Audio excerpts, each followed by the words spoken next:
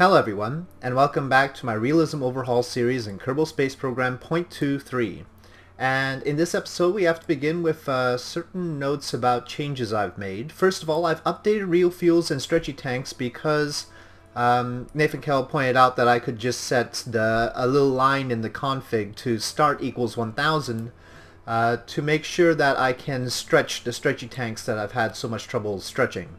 So since I can stretch the stretchy tanks, I don't need to worry about the ones that are uh, static in the width. Uh, so I was able to update to Real Fuels version 5 and Stretchy Tanks version 9. Uh, I don't know about Real Fuels version 5.1 because that's technically recompiled for 23.5 and we're not in 23.5. So, so yeah, but that means that here I need to unlock these parts because those are the new stretchy tank parts. So let me do that first. Other than that, uh, also by uh, popular demand it seems, uh, I've added MechJeb to the command pods. So MechJeb is now built into those. Uh, so uh, anything that had a module command thing in its uh, config now has MechJeb. So we don't have to slap that on. But I'll have to make sure that uh, the parts that I'm using have MechJeb just just in case. Um, other things I've updated the solid fuel boosters. The solid fuel boosters were apparently underpowered for real solar system. They needed uh, 4.2 times more fuel, uh, as pointed out by Nathan Kell. So uh, not the not the um, stretchy SRB boosters. Those those were fine, but the other boosters from KW Rocketry and Nova Punch in particular I updated with uh, 4.2 times more fuel so that they were suited for a real solar system. Uh, I did not change the stock ones because I don't actually intend to use the stock ones. So, so just the ones from KW Rocketry and Nova Punch. Lastly, I have changed the remote tech config so the range model type is root rather than additive. I hope this does not break everything, uh, but that means that instead of adding the ranges of the antenna, it now takes a square root function of the two antenna ranges in order to figure out how far they should be uh, before they lose connection. Uh, let's take a look at our satellite network to make sure that it hasn't uh, completely borked everything up, alright?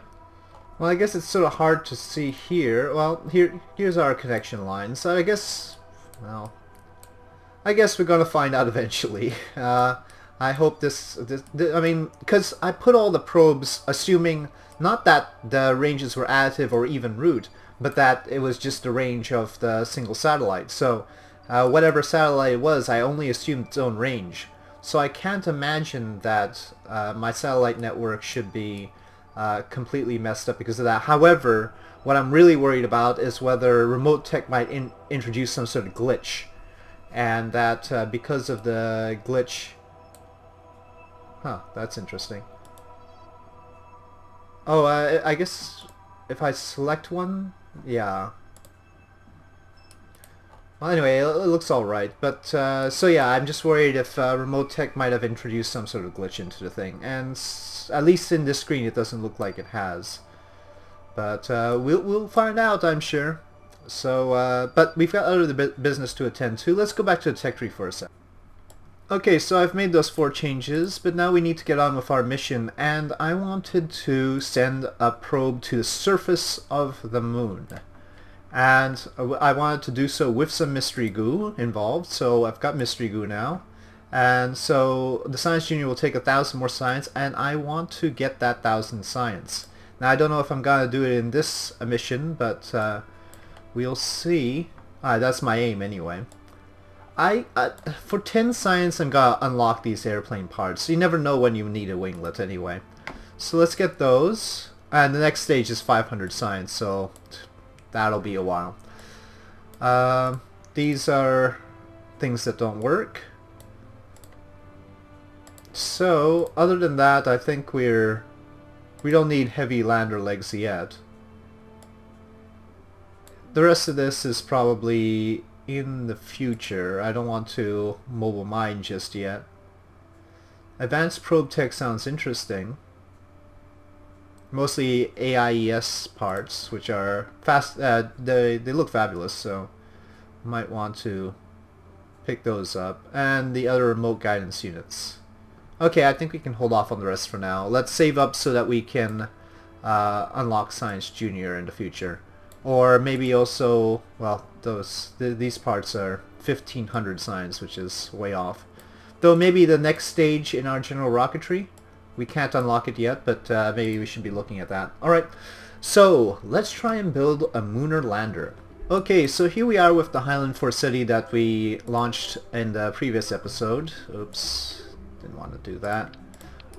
And we really don't need any of this now, but let me just check something.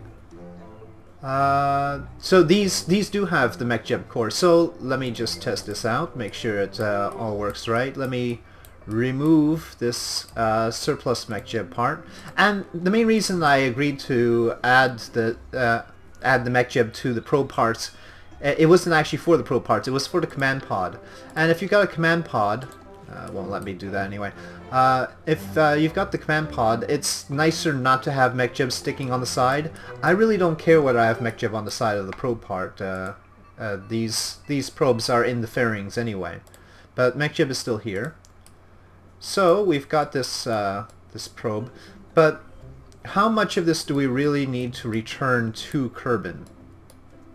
Probably not anything, right? Because I think the the experiment is only surface readings, and it doesn't have any surface samples. So we don't need to return our uh, Mooner lander back to Kerbin. So that, uh, that'll be a huge savings. But we can't really use any of this. Uh, we might want that antenna though. I like that antenna. Okay, well let's just scrap all this and uh, and start from the beginning. So we need the Mooner experiments. That's that box.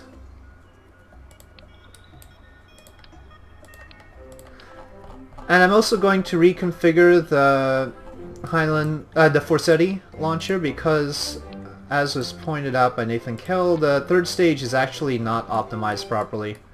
Uh, it is excessive. But uh, let, let's uh, see how heavy our lander is before messing with that. So, right, lander. Um, so I want the... That's the battery. Where did my antenna go? There's the antenna. I want my antenna at the top. So let's say we have that like well that definitely looks like it can communicate with uh, Kerbin slash Earth again so let's keep that retracted but we'll need a lot of battery power to run it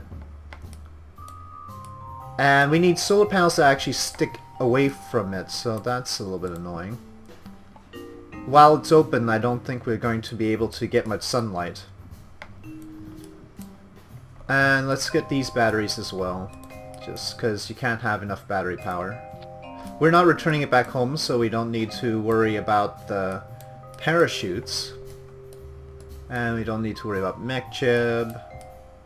What we could use is some experiments. And the goo containers. So, but this antenna is sort of like this, so I'm going to extend this service module a little bit bigger. Actually, maybe let's dump this uh, and put the goo containers on the side like that. Well, could be worse. What we're lacking is really space for solar panels. But, what if we put a whole lot of electric charge? Like that. That could be a thing. Just fill that with electric charge. Now, some super super stretchiness. So let's see what it looks like with the Commutron out. Now of course the goo experiments won't be worth as much without uh, bringing them back, but it's a start, right? So Y to get that. I'm probably gonna be overly complicated about this. Let's see. Now that I've got all sorts of stretchiness, I'm gonna use it.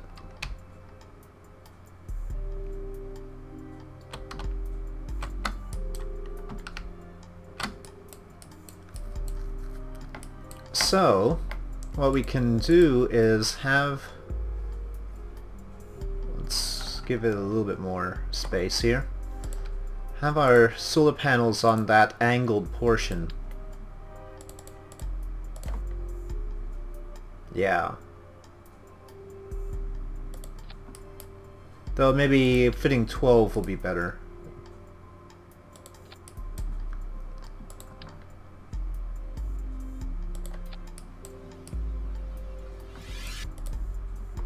Well, first we have to actually decide which... I suppose the rocket to use would be the same one that we had before. This, uh... not that one. Oh, that's the one I have to avoid because it's not configured for anything. Alright, uh... Something like that. And let's get some lander legs.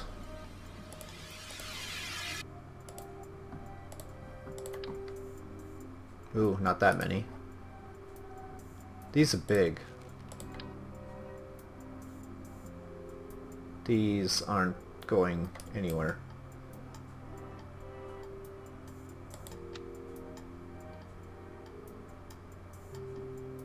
Why does it want to attach to where the solar panels are?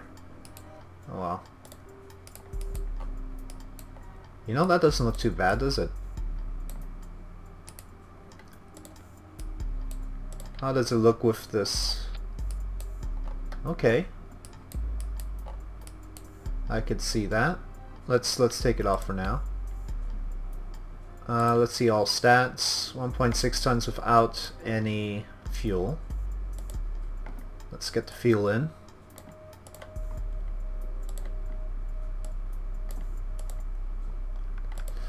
Is 2,300 enough to make a landing? That's a good question. Let's see.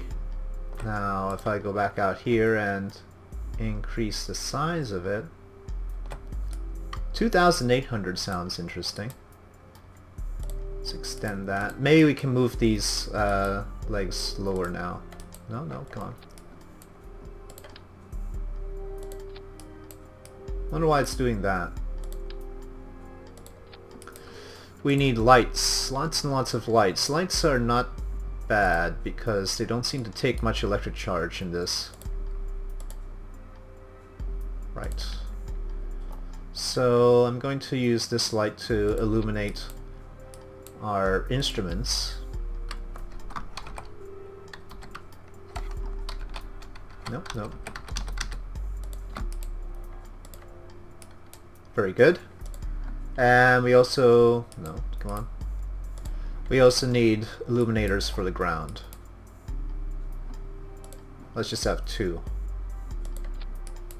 Oh, those stick out a little bit too much. Let's have them up here, but tilted... That. Okay, I think that's a pretty decent lander.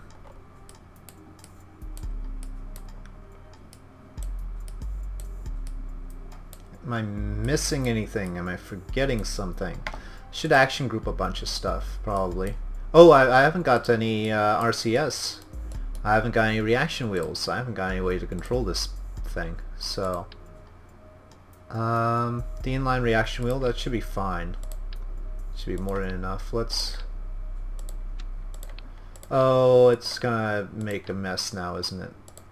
Mm, oh, no, it works. Ha. That's a little piece of luck. And some... Well, the RCS really should be here. I mean, how much RCS do I really need? Not much. Let's uh, add a token amount of hydrazine. Let's remove this tank, add some hydrazine. Hello, hydrazine. There we go. Let's say 50 units of hydrazine.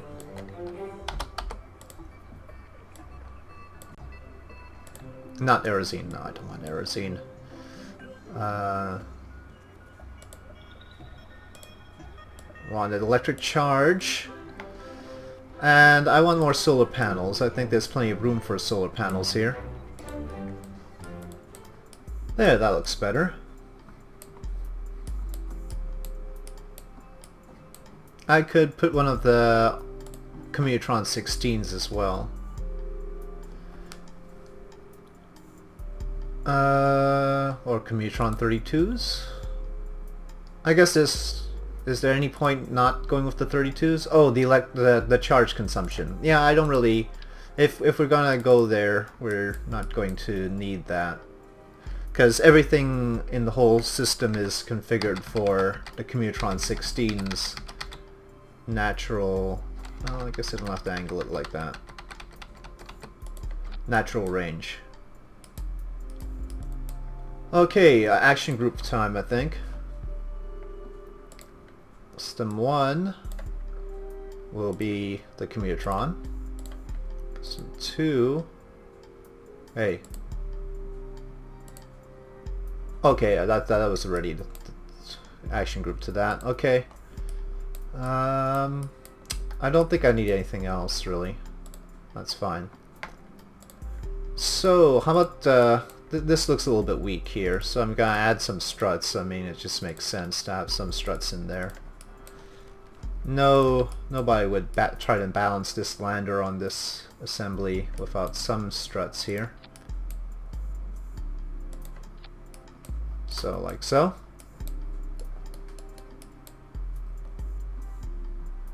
And pretty robust lander, I think. well, I don't think I need it to look quite like that. Let's see what we can do about this shape. Hmm. It's not like me. Come on.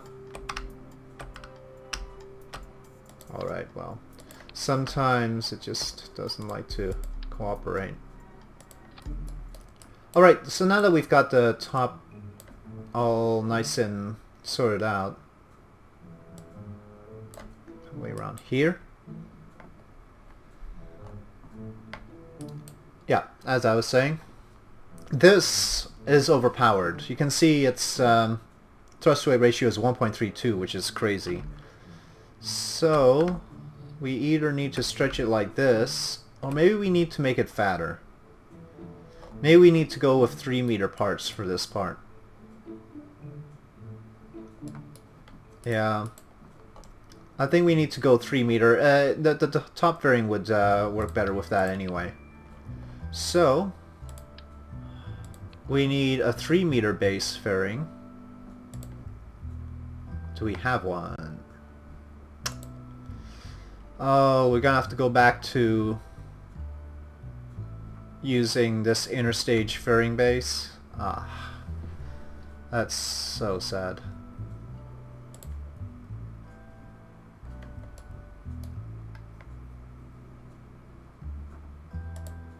Yep, looks like it. But with this one we don't need the decoupler. So let's dump the decoupler. This one has a decoupler on it. Let's get some 3 meter tanks. Well now now we don't have the 3 meter tanks as such. We've got all these stretchy tanks. They've all, uh, that was the problem. That's why I wasn't uh, upgrading. It's because the stretchy tanks replaced everything. So let's just go with this conic tank. Um, not pressurized. We should at least have a pressurized one, shouldn't we? Service module, cryogenic tank. I think the cryogenic tank is the one that's pressurized, right? Okay, that's better. Now, this tank. We need some liquid fuel oxidizer for Oh. Yeah, okay. Uh, let's say 2.7 and 3.6 should be fine. And as we scale it up, we'll have more than that. But that's the minimum I need. And other than that, I need these. Okay, now we can scale up properly. Maybe around here. So the reason I got uh, messed up in the first place and uh, had such a had a high, such a high thrust to weight ratio on the third stage was because I was intending for the third stage to only be a transit stage to the moon, and so I only sized it based on the vacuum thrust weight, uh, vacuum delta V. And that means that uh, it had a high thrust weight ratio. Now it does not, and conic side fairings is right. Oh well, that'll have to do. So now we can reduce the burden on this stage.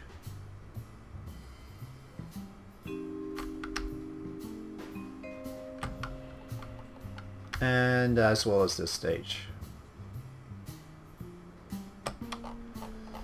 Let's tally it up. See, now this is 7,100, so we would need well, we'll need about 2,400 from this stage in order to get into orbit. 2,400 is doable, but this stage needs to burn out a little bit quicker than, than it's doing. 2,400 is pretty close margins, unfortunately. Let's boost this up a little. Let's get this a little bit lower. Let's say five minutes on this one.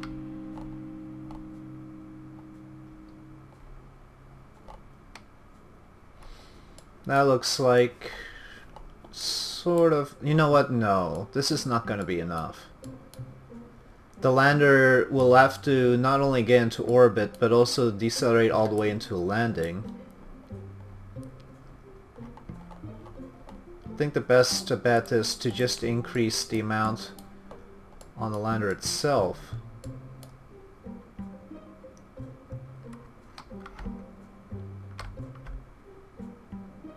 So it can handle all the business around the moon.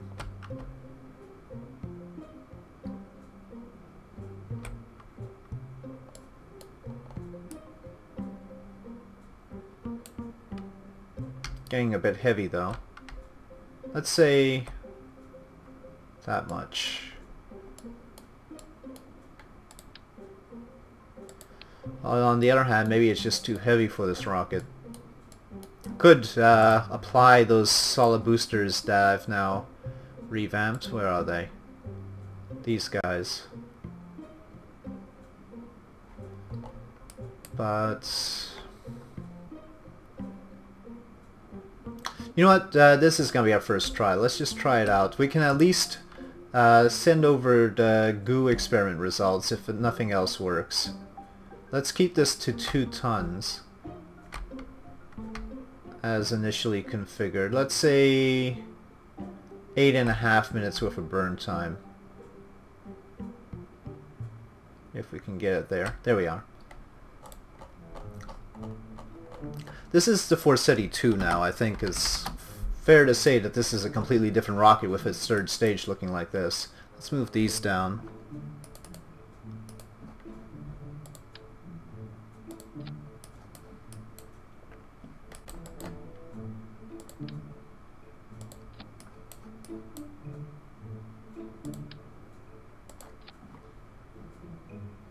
Obviously these fairings shouldn't be going off here.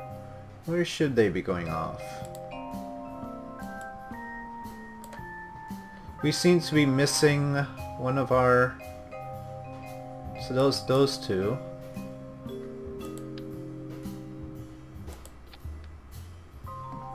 But it only shows one of these. That's annoying. Uh, let's let's reserve that for some later date here. Okay, well, uh, this is no longer Heinlein. We're we're a lander now. Uh, oh heck. Uh, let let's call this Asimov. Uh, no, we've used that. Jeez, what am I thinking? Uh, well, let's go with uh, somebody else who ought to be named very soon. Clarke. Okay, so landing on the moon with uh, Clarke. Arthur C. Clarke. Actually, you know what? No, that's not right. Definitely Jules Verne, right? The Verne Forseti 2. Let's save. And in this episode, I'll just try to uh, try to get into orbit with this, and then we'll handle the lunar transfer and everything in the next episode. It's a new, basically a new launcher now, so I need to make sure the timing is right, and I'm not too sure I've got that down. Um, not even sure that we have enough for the lunar transfer and landing with this, so lots of uncertainty here. Let's uh, let's take it out of the launch pad and see how well it might work. Okay, it's daytime, but that means practically nothing for us. What we need to think about is where the moon is. And I didn't check ahead of time. Uh, so, set as target. Okay, it looks like we're like 90 degrees off of uh, where we need to be. So let me leave the rocket on launch pad and uh, jump to the tracking station to get us in the right position. Okay, I actually had to revert back to uh, VAB and then go to Uragadie in order to get us in the right position, but uh, we should be fine now. And we're going to be hitting 23.5 uh, degrees north, so 66.5 degrees on the nav ball. Uh, SAS is on, throttle is up, and we're a go.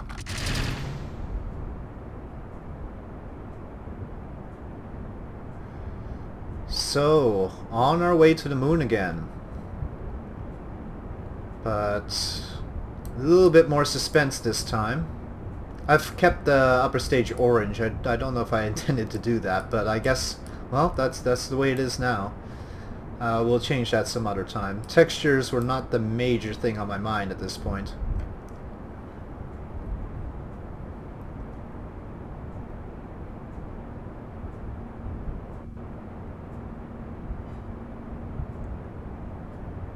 Okay, so we've got the second one. Let's get that there.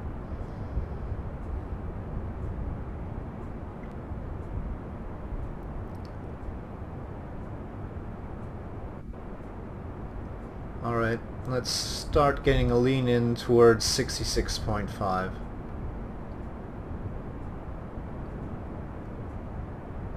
So I'm not going to update the series to 23.5. First of all, I don't know how compatible 23.5 is with, uh, with, first of all, the career mode, because uh, we're not going to get asteroids no matter what. Even if I upgrade to uh, 23.5, we're not going to get the asteroids. The new parts aren't particularly useful in this case. Uh, and I would be too afraid of things getting broken. So I'm going to do extensive testing with the Realism Overhaul mods with 23.5 though to make sure, I mean, to see what kinds of issues might occur, but it might be a while before I upgrade everything to to the newest versions of the mods or 23.5, but I'll make incremental adjustments like I did. Uh, so I introduced the four adjustments that I did at the beginning of this episode and stuff like that. So we'll see. But it's not my intention to rush upgrading because 23.5 doesn't offer any features that I think are particularly uh, useful anyway. Uh, not to this series. Obviously they're great, I mean the, the grapple, the stuff like that, but since we can't get the asteroids in this series uh, unless we start over from the beginning, um, I don't see a point. Okay, I really need to flatten out here a bit more.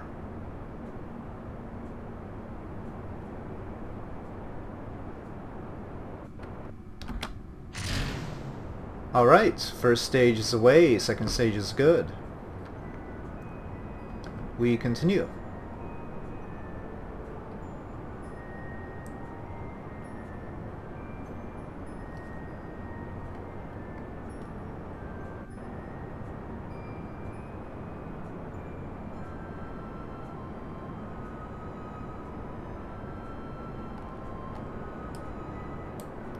I'm gonna activate the Communotron 16 by pressing 1 here.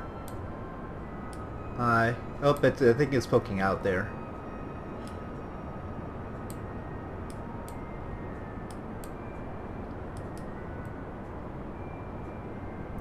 One thing I should check where it works in this uh, in 0.23 is the volumetric clouds in the in the city lights, the uh, the visual enhancement mod. I'd like those in here at least. However, it's a it's a big thing because I'm hitting the RAM limit. No, I don't have any texture uh, any texture reduction in this, so I'm flying without any texture reduction in this series and that that uh, the new version of that mod might might kill things. I don't know. We'll have to see. I should check that out.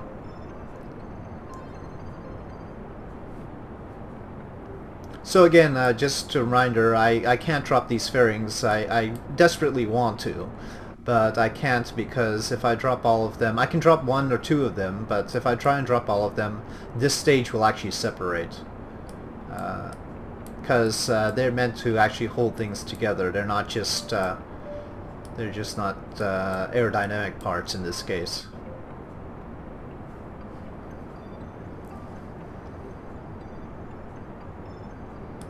And that is a penalty, by the way. These do have mass. So they add mass to the whole situation, and not dropping them means that I have to burn more fuel. So that's the penalty I pay for uh, having the resizable base, which allowed me to put a 3 meter payload on there.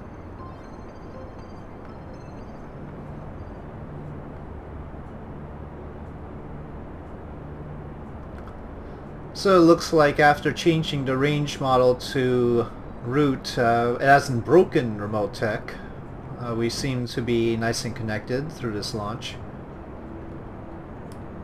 I know, don't speak too soon, right? But still, you know, uh, looking okay. Now I have to make sure I uh, save enough time for the third stage to do a pretty substantial burn, 2,400 meters per second, so maybe I shouldn't be flattening out so soon. Little bit of an up tilt here then.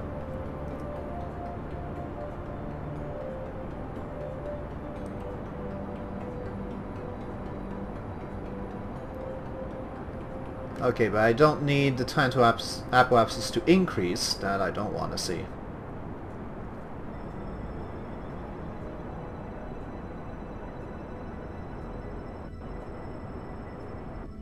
Okay. Alright. Good separation of second stage, and third stage is fine. I really need to have it so that the stages separate and then the engines light. Uh, having them both happen at the same time is not quite right, I think. I think uh, we do not have enough. Just looking at it right now, and if you take a look at, subtract from the stage delta V about 3,300, and what you have left is about 2,100. And that will not get us to orbit right now.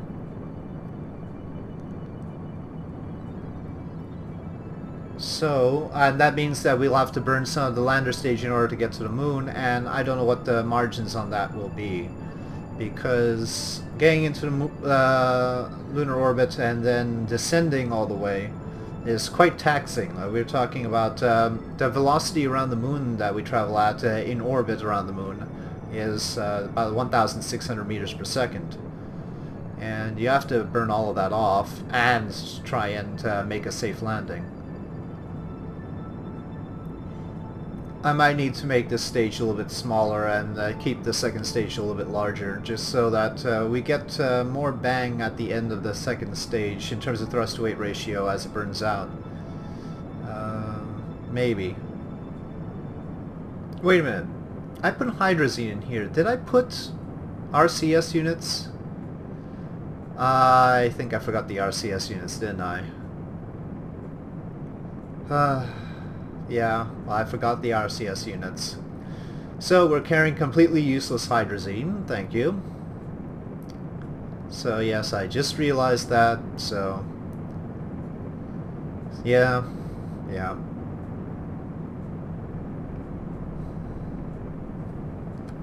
Let's see what our inclination is. Oh. Looks like we're gonna be quite a bit off from the moon too. Wonder how that happens. Uh, I don't know which direction to go for that.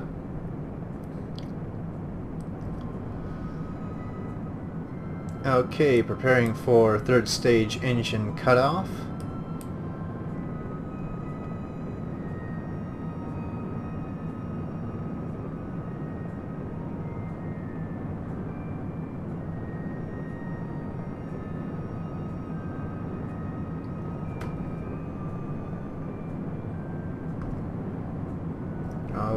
Okay, well.